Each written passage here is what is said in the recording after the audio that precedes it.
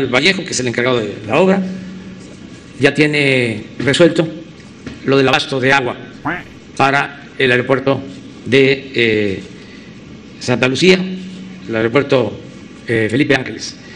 Es una obra importantísima porque eh, es un aeropuerto moderno, civil, para viajes comerciales y también al mismo tiempo tendrá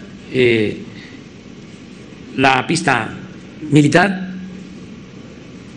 Son instalaciones modernas. Es el aeropuerto más moderno que se esté construyendo en estos tiempos en el mundo. Y va a costar 80 mil millones de pesos. Cuando el de Texcoco nos iba a salir, nos iba a costar en 300 mil millones. Iba a costar 300 mil millones. O sea, nos vamos a ahorrar 220 mil millones. Además, en suelo firme. Pero sí hay agua, sin ningún problema. Oiga, ¿no se tiene pensado una inversión extraordinaria o algún costo extra para abastecer de agua el aeropuerto? Tienen ya un proyecto. Sí hay eh, una inversión.